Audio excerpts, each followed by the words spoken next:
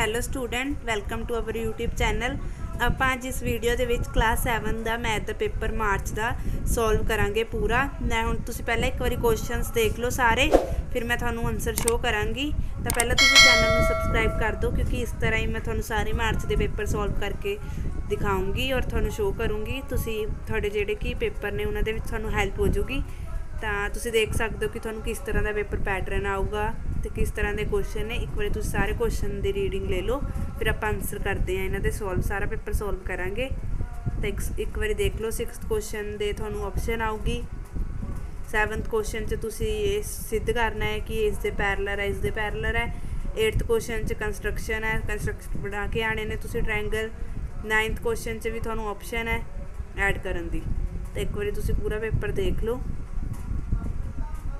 ਇੱਥੇ ਵੀ ਤੁਸੀਂ ਦੇਖ ਸਕਦੇ ਹੋ ਕਿੱਦਾਂ ਕਿੱਦਾਂ ਦੇ ਕੁਐਸਚਨ ਨੇ। ਪ੍ਰੋਬੇਬਿਲਿਟੀ ਵਾਲਾ ਕੁਐਸਚਨ ਬਹੁਤ ਈਜ਼ੀ ਹੈ, ਉੱਪਰ ਵਾਲਾ ਵੀ ਬਹੁਤ ਈਜ਼ੀ ਹੈ। ਬਾਰ ਗ੍ਰਾਫ ਬਣਾਉਣਾ ਇਸ ਦਾ ਲੈਂਥ ਪੈਰੀਮੀਟਰ ਦੇ ਤੁਹਾਨੂੰ ਫਾਰਮੂਲੇ ਪਤਾ ਹੋਣਾ ਚਾਹੀਦੇ ਨੇ। ਹਾਂਜੀ ਸਟੂਡੈਂਟ ਜਿਵੇਂ ਕਿ ਆਪਾਂ ਹੁਣ ਕੁਐਸਚਨ ਪੇਪਰ ਦੇਖ ਹੀ ਲਿਆ ਹੈ।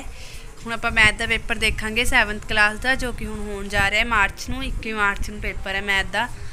ਫਰਸਟ ਕੁਐਸਚਨ ਜਿਹੜਾ ਕਿ ਤੁਸੀਂ ਦੇਖਿਆ ਸੀ ਕੁਐਸਚਨ ਇਸ ਦਾ ਆਨਸਰ ਐਵੇਂ ਹੋਊਗਾ 3y 2 10 ਜਿਹੜਾ 2 ਹੈ, ਉੱਧਰ ਜਾ ਕੇ ਪਲੱਸ ਦਾ ਹੋ ਜਾਊਗਾ, ਤਾਂ 3y 12 ਹੋ ਜਾਊਗਾ। ਤੇ y ਦੀ ਵੈਲਿਊ ਆਪਾਂ 12 3 ਜਿਹੜਾ ਕਿ ਮਲਟੀਪਲਾਈ ਹੋ ਰਿਹਾ ਸੀ, ਇੱਧਰ ਆ ਕੇ ਡਿਵਾਈਡ ਹੋ ਜਾਊਗਾ। ਕਟਿੰਗ ਕਰਕੇ y ਦੀ ਵੈਲਿਊ ਕਿੰਨੀ ਆ ਜਾਊਗੀ? 4 ਇਹ ਇਸ ਦਾ ਆਨਸਰ ਹੈ। ਤੇ ਸੈਕੰਡ ਕੁਐਸਚਨ ਦੇਖਦੇ ਹਾਂ, ਅਸੀਂ ਵੈਲਿਊ ਦੇਖਣੀ ਸੀ x ਦੀ ਪਤਾ ਕਰਨੀ ਆ। ਦੋ ਐਂਗਲ ਸਾਨੂੰ ਗਿਵਨ ਨੇ 53 ਤੇ 60 ਤੇ ਤੁਹਾਨੂੰ ਸਭ ਨੂੰ ਪਤਾ ਹੈ sum of two angles equal ਹੁੰਦਾ ਹੈ 180 ਦੇ। ਤਾਂ ਦੋਨੇ ਐਂਗਲਾਂ ਦਾ ਜੋੜ ਆਪਾਂ ਕਿਹਦੇ ਇਕੁਅਲ ਕਰਨਾ ਹੈ? 180 ਦੇ। ਦੋਨਾਂ ਦਾ ਐਂਗਲਾਂ ਦਾ ਜੋੜ ਕਿੰਨਾ ਆਇਆ? 113 ਡਿਗਰੀ ਤਾਂ ਆਪਾਂ ਉਸ ਨੂੰ 180 ਚੋਂ ਮਾਈਨਸ ਕਰ ਦੇਣਾ, ਕਿਉਂਕਿ ਇਜ਼ ਇਕੁਅਲ ਟੂ ਦੇ ਉੱਧਰ ਜਾ ਕੇ ਮਾਈਨਸ ਹੋ ਜਾਊਗਾ। ਤਾਂ ਸਾਡਾ ਥਰਡ x ਐਂਗਲ ਕਿੰਨੇ ਦਾ ਆਊਗਾ? 67 ਦਾ। ਠੀਕ ਹੈ, ਇੱਥੇ ਤੱਕ ਮੈਨੂੰ ਹੋਪ ਹੈ ਕਿ ਤੁਹਾਨੂੰ ਸਮਝ ਆ ਗਿਆ ਹੋਊਗਾ। ਆਪਾਂ ਨੈਕਸਟ ਦੇਖਦੇ ਹਾਂ ਥਰਡ ਕੁਐਸਚਨ ਇਹਦੇ ਵਿੱਚ ਤੁਹਾਨੂੰ ਟਰੂ ਫਾਲਸ ਸੀਗੇ, ਤਾਂ two right angle are always ਕਿਆ ਹੁੰਦੇ ਨੇ? ਕੌਨਗਰੈਂਟ ਇਹ ਟਰੂ ਹੈ।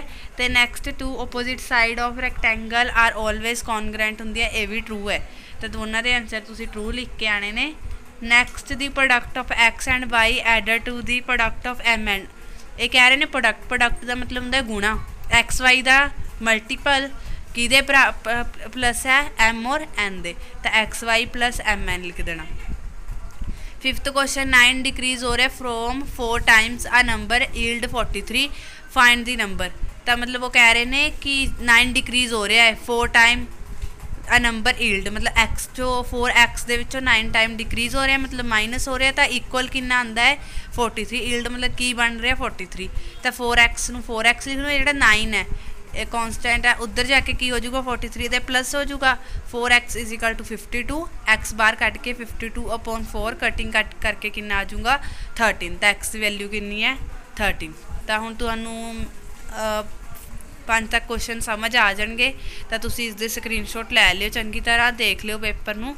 ਤੇ next find the value of x in the given diagram ਦੇਖੋ, ਸਾਨੂੰ ਜਿਹੜੀ ਇੱਧਰ ਵਾਲੀ ਲੰਬ ਹੈ ਤੇ ਨੀਚੇ ਵਾਲਾ ਬੇਸ ਹੈ, ਉਹ ਗਿਵਨ ਹੈ। ਆਪਾਂ ਹਾਈਪੋਟੈਨੀਅਸ ਕਰਨ ਪਤਾ ਕਰਨਾ ਹੈ। ਤਾਂ ਤੁਹਾਨੂੰ ਫਾਰਮੂਲਾ ਸਭ ਨੂੰ ਪਤਾ ਹੈ ਕਿ hypotenuse the square is equal to base the square ਹੁੰਦਾ ਹੈ ਔਰ ਪਲੱਸ ਪਰਪੈਂਡੀਕੂਲਰ ਦੀ ਸਕੁਅਰ ਹੁੰਦਾ ਹੈ। ਮਤਲਬ ਕਰਨ ਦੀ ਦੋ ਇਜ਼ ਇਕੁਅਲ ਟੂ ਆਧਾਰ ਦੀ ਸਕੁਅਰ ਜਾਂ ਪਲੱਸ ਦੀ ਲੰਬ ਦੀ ਸਕੁਅਰ ਤਾਂ ਹੁਣ ਸਾਨੂੰ ਹਾਈਪੋਟੈਨਸ ਪਤਾ ਨਹੀਂ, ਆਪਾਂ x ਦੀ ਸਕੁਅਰ x ਦੀ ਸਕੁਅਰ ਲਿਖ ਦੂਗੇ bc ਸਾਡੇ ਕੋਲ ਪਤਾ ਹੈ 12 ਹੈ, ਤੇ ca ਸਾਡੇ ਕੋਲ ਕਿੰਨੀ ਹੈ? 5 12 ਨੂੰ ਅਸੀਂ ਦੋ ਵਾਰ ਮਲਟੀਪਲਾਈ ਕਰੀਏ 44 ਆਂਦਾ ਹੈ ਤੇ 5 ਨੂੰ ਕਰੀਏ 24 5 ਆਂਦਾ ਹੈ। ਤਾਂ ਇਹਨਾਂ ਦੋਨਾਂ ਨੂੰ ਜੋੜ ਕੇ ਕਿੰਨਾ ਆ ਗਿਆ? 169 169 ਦਾ ਰੂਟ ਜਦੋਂ ਸੋਲਵ ਕਰਦੇ ਆ ਤਾਂ ਕਿੰਨਾ ਆਂਦਾ ਹੈ? 13 ਕਿਉਂਕਿ 13 13 ਦਾ 69 169 ਹੁੰਦਾ ਤਾਂ ਇਸ ਦਾ ਇਹ ਆਨਸਰ ਹੈ, ਤੁਸੀਂ ਇਸ ਨੂੰ ਵੀ ਨੋਟ ਕਰ ਲਿਓ ਕਾਪੀ ਤੇ।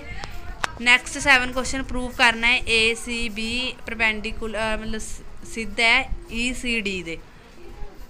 ਤਾਂ ਦੇਖੋ, ਇਹਦੇ ਵਿੱਚ ਗਿਵਨ ਚ ਇੱਕ ਪੈਰਲਲ ਜਿਹੜੀ ਸੀ ਡੀ ਹੈ, ਜਿੱਥੇ ਦੋ ਲਾਈਨਾਂ ਲੱਗੀਆਂ ਹੋਣ, ਉਹ ਕਿਹਦੇ ਪੈਰਲਲ ਹੈ? ਬੀ ਸੀ ਦੇ। ਤੇ ਦੂਸਰੀ ਏ ਸੀ ਕਿਹਦੇ ਆ? ਸੀ ਈ e ਦੇ। ਤੇ ਐਂਗਲ ਸੀ ਕਿਹਦੇ ਬਰਾਬਰ ਐਂਗਲ ਸੀ ਦੇ। ਤੇ ਸਾਈਡ ਐਂਗਲ ਸਾਈਡ ਦੇ ਨਾਲ ਸੋਲਵ ਹੁੰਦਾ ਹੈ। ਨੈਕਸਟ ਕੋਰ ਕੰਸਟਰਕਟ ਕਰਨੀ ਹੈ ABC ਗਿਵਨ AB 5 ਸੈਂਟੀਮੀਟਰ ਹੈ BC 4 ਹੈ AC 6 ਹੈ। ਹੁਣ ਦੇਖੋ ਤੁਸੀਂ ਕਿੱਦਾਂ ਡਰਾ ਕਰਨੀ ਹੈ। ਸਭ ਤੋਂ ਲੰਬੀ ਲਾਈਨ ਨੀਚੇ ਲੈ ਲੈਣੀ AC 6 ਸੈਂਟੀਮੀਟਰ ਦੀ।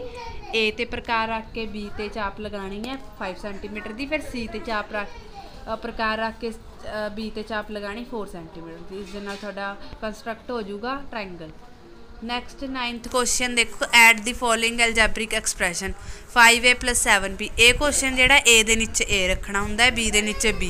ਔਰ ਨਿਸ਼ਾਨ ਜਿਹੜੇ ਕਿ ਹਮੇਸ਼ਾ ਚੇਂਜ ਹੁੰਦੇ ਨੇ, ਤੇ ਇੱਧਰ ਪਲੱਸ ਹੋਣਾ ਹੈ 7 2 ਚ ਗਏ 5 ਔਰ ਇੱਧਰ 5 3 ਕਿੰਨਾ ਹੋ ਗਿਆ? 8a ਤਾਂ ਇਹ ਇਦਾਂ ਹੋਣਾ ਹੈ।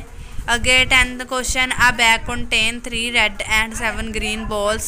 One ball is drawn at random from the bag and the probability ਆਪਾਂ ਦੇਖਦੇ ਹਾਂ ਕਿ ਇਹਦੀ probability ਕੀ ਹੈ, ਆਪਾਂ ਨੈਕਸਟ ਦੇਖਦੇ ਹਾਂ। ਆ ਰੈੱਡ ਬੋਲ ਔਰ ਆ ਗ੍ਰੀਨ ਬੋਲ ਤੇ ਟੋਟਲ ਬੋਲਸ ਕਿੰਨੀਆਂ ਹੋ ਗਈਆਂ? 10 ਤੇ ਇਹ ਬੈਕ ਕੰਟੇਨ ਰੈੱਡ ਬੋਲ ਜਿੰਨੀਆਂ ਬੋਲਸ ਸਾਨੂੰ ਕਈਆਂ ਨੇ, ਜਿੰਨੀ ਰੈੱਡ ਬੋਲ ਸੀਗੀਆਂ, ਉਹਦੇ ਲਿਖ ਕੇ ਨੀਚੇ ਟੋਟਲ ਲਿਖਣਾ ਹੁੰਦਾ ਕਿਉਂਕਿ ਪ੍ਰੋਬੇਬਿਲਿਟੀ ਦਾ ਫਾਰਮੂਲਾ ਹੁੰਦਾ ਹੈ। ਆਊਟਕਮ ਔਨ ਪ੍ਰੋਬੇਬਿਲਟੀ ਅਪੋਨ ਹੁੰਦਾ ਟੋਟਲ ਨੰਬਰ ਆਫ ਆਊਟਕਮਸ ਐਵੇਂ ਕੁਝ ਫਾਰਮੂਲਾ ਹੁੰਦਾ ਹੈ, ਤੇ ਤੁਸੀਂ ਦੇਖ ਲਿਓ ਆਪਣੀ ਬੁੱਕ ਦੇ ਵਿੱਚ। ਤੇ ਨੈਕਸਟ ਜਿਹੜਾ ਹੈਗਾ, ਉਹਨਾਂ ਨੇ ਗ੍ਰੀਨ ਬੋਲ ਪੁੱਛੇ ਨੇ ਗ੍ਰੀਨ 7 ਸੀਗੀਆਂ, ਤਾਂ 7 ਅਪੋਨ 10 ਜੋ ਪੁੱਛਿਆ ਹੈ ਉੱਪਰ, ਜਿੰਨਾ ਟੋਟਲ ਹੈ ਉਹ ਨੀਚੇ ਲਿਖੀਦਾ ਹੁੰਦਾ ਹੈ। Find the perimeter and R of exchange having ਹੁਣ ਲੈਂਥ ਤੁਹਾਨੂੰ ਗਿਵਨ ਹੈ? 28 ਤੇ ਬ੍ਰੈਥ 57 ਸਭ ਨੂੰ ਪਤਾ ਹੈ ਕਿ ਪੈਰੀਮੀਟਰ ਆਫ ਰੈਕਟੈਂਗਲ ਦਾ ਫਾਰਮੂਲਾ ਹੁੰਦਾ ਹੈ 2l b ਸਭ ਨੂੰ ਆਂਦਾ ਹੈ, ਤਾਂ 2l 28 ਹੈ, b 15 ਹੈ, ਦੋਨਾਂ ਨੂੰ ਪਲੱਸ ਕਰਕੇ 43 2 ਨਾਲ ਮਲਟੀਪਲਾਈ ਕਰ ਦੇਣਾ 86 ਆ ਜਾਊਗਾ ਇਹਦਾ ਆਨਸਰ ਤੇ ਉਹਨਾਂ ਨੇ ਐਵੇਂ ਵੀ ਕੁਐਸਚਨ ਚ ਪੁੱਛਿਆ ਏਰੀਆ ਵੀ ਦੱਸੋ। ਏਰੀਆ ਦਾ ਫਾਰਮੂਲਾ ਹੁੰਦਾ ਲੈਂਥ ਇਨਟੂ ਬ੍ਰੈਥ 28 ਇਨਟੂ 15 ਤਾਂ ਇਹਨਾਂ ਨੂੰ ਮਲਟੀਪਲਾਈ ਕਰਕੇ ਕਿੰਨਾ ਆ ਜਾਊਗਾ? 420 ਤਾਂ ਇਹ ਤੁਹਾਡਾ ਪੇਪਰ ਸੀਗਾ। ਤੁਸੀਂ ਇਸ ਨੂੰ ਸਾਰੇ ਦਾ ਸਕਰੀਨਸ਼ਾਟ ਲੈ ਲਿਓ। ਜੇਕਰ ਤੁਹਾਨੂੰ ਪੀਡੀਐਫ ਚਾਹੀਦੀ ਹੈ, ਤਾਂ ਮੈਨੂੰ ਮੇਰੇ ਟੈਲੀਗ੍ਰਾਮ ਚੈਨਲ ਡਿਸਕ੍ਰਿਪਸ਼ਨ ਦੇ ਵਿੱਚ ਹੈਗਾ ਹੈ, ਉਸ ਨੂੰ ਜੁਆਇਨ ਕਰ ਲਿਓ। ਅਤੇ ਮੇਰੇ ਚੈਨਲ ਨੂੰ ਸਬਸਕ੍ਰਾਈਬ ਜ਼ਰੂਰ ਕਰ ਦਿਓ, ਕਿਉਂਕਿ ਮੈਂ ਇਸ ਤਰ੍ਹਾਂ ਹੀ ਤੁਹਾਨੂੰ ਰੋਜ਼ ਪੇਪਰ ਸੋਲਵ ਕਰਕੇ ਅਪਲੋਡ ਤਾਂ ਹੀ ਕਰੂੰਗੀ, ਜੇਕਰ ਤੁਸੀਂ ਮੇਰਾ ਚੈਨਲ ਸਬਸਕ੍ਰਾਈਬ ਕੀਤਾ ਹੋਊਗਾ, ਕਿਉਂਕਿ ਬਹੁਤ ਜਣੇ ਨੇ ਵੀਡੀਓ ਦੇਖ ਕੇ ਚਲੇ ਜਾਂਦੇ ਨੇ, ਪਰ ਚੈਨਲ ਸਬਸਕ੍ਰਾਈਬ ਨਹੀਂ ਕਰਦੇ। Thank you